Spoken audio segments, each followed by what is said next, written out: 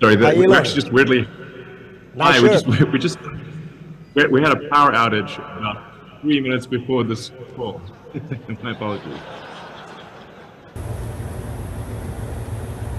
Shedaralun, CEO baru Twitter Elon Musk menghadiri acara B20 Summit secara virtual dalam Zoom dengan keadaan gelap gulita. Hal itu terjadi lantaran kediamannya di Boca Chica, Texas mengalami mati listrik. CEO Tesla Inc. Elon Musk menghadiri rangkaian B20 Summit secara virtual pada Senin 14 November 2022 hari ini. Musk menjadi salah satu pembicara dalam rangkaian forum dialog yang merupakan bagian dari KTT G20 itu. Orang terkaya di dunia itu hadir dan menjadi pembicara melalui layanan konferensi video tepat pada pukul 10 waktu Indonesia Barat atau 11 waktu Indonesia Tengah.